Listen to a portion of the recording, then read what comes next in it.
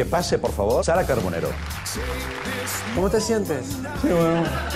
Es un momento de estoy.